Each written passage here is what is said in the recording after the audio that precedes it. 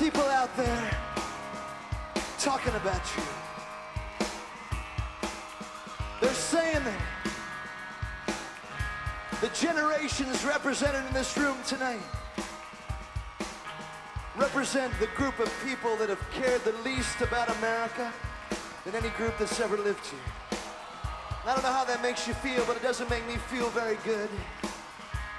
Because, friends, if we don't stand up for truth, somebody else is going to stand up for their version of the truth, and it's simply going to be another lie. There are people that will say, man, we just have to solve a few big problems. Feed the hungry, stop teen pregnancy, bring racial harmony, find the cure to AIDS. Those things are important, but don't be deceived. They are symptoms only of a much greater illness. We are the new Americans. Will you join me in spreading the word that there's one way that America can be restored? It's when it's people of every nationality. It's people of every financial strata.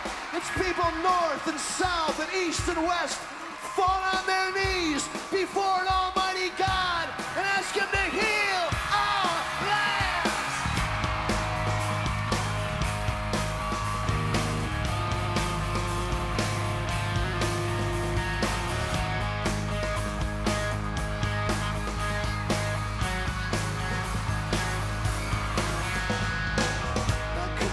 of thee, sweet land of liberty, of thee I sing.